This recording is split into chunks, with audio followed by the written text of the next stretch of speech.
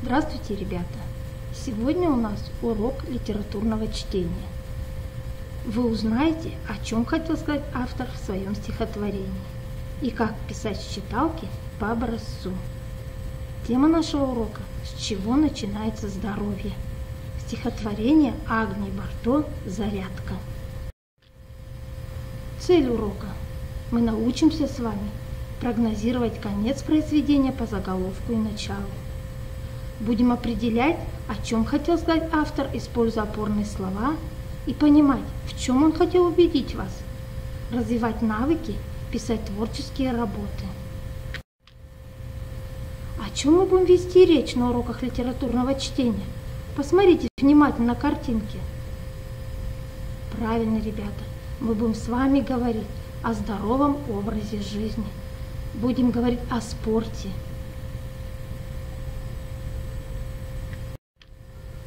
Давайте подумаем, с чего начинается здоровье? Здоровье начинается с гигиены, спорта, воздуха, воды, здорового питания. Агния Львовна Барто, поэтесса, писательница, киносценарист.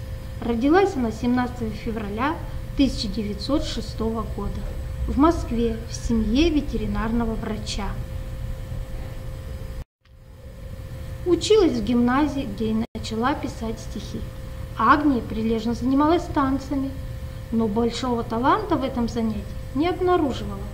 Рано проявившая творческую энергию направляла в другое русло, стихотворное.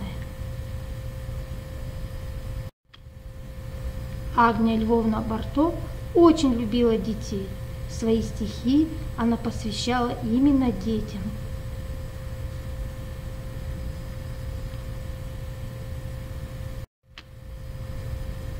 Ну а сейчас давайте послушаем стихотворение Агнии Львовны Барто «Зарядка».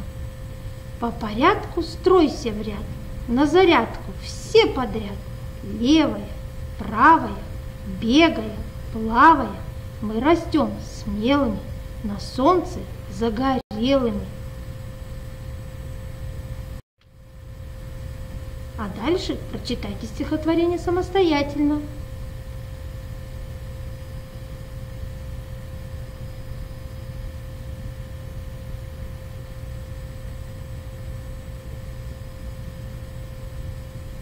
Прочитали? Молодцы. Скажите, ребята, о чем это стихотворение? Кто написал это стихотворение? Как называется стихотворение? Как вы считаете, какая главная мысль этого произведения? Тема этого произведения? Правильно. Для кого написано это стихотворение? Так в чем же хотел убедить нас автор? Когда нужно выполнять зарядку? Как вы думаете, какая польза от зарядки? Узнаю у своих друзей, кто из них делает зарядку каждый день. А ты делаешь зарядку каждый день? Сейчас, ребята, мы с вами запишем рассказ об авторе.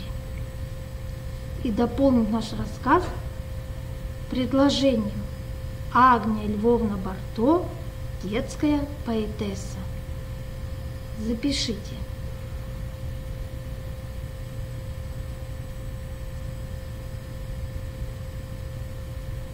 Записал? Ребята, а сейчас еще раз – перечитайте стихотворение в учебнике и придумайте конец стихотворения. Как бы вы закончили это стихотворение?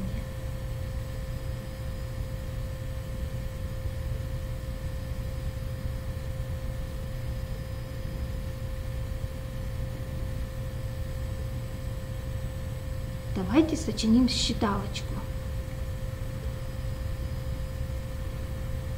Раз, два, три, четыре. Руки выше, ноги шире. Девять, восемь, семь, шесть, пять. Выходи со мной играть. Попробуйте составить свою считалочку.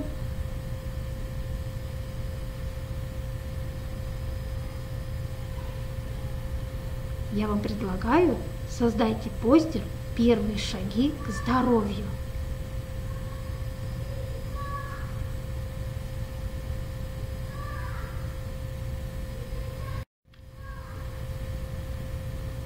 Ребята, вам стихотворение нужно выучить наизусть. И когда вы будете его рассказывать, используйте мимику и жесты.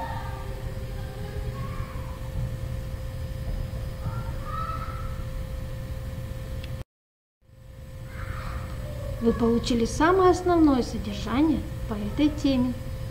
Задание старайся сделать сам.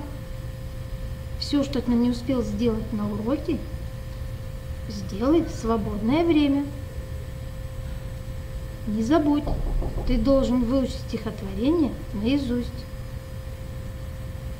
Когда выполнишь задание, запиши видео и отправь мне. Очень жду. У тебя все получится. Удачи тебе!